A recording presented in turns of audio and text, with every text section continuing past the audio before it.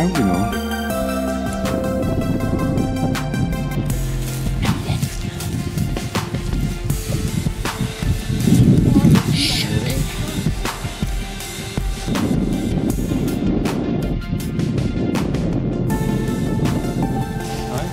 Like dead tree.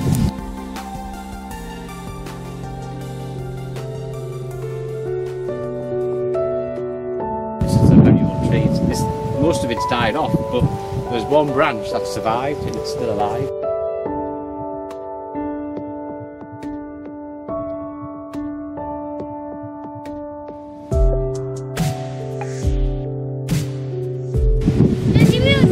That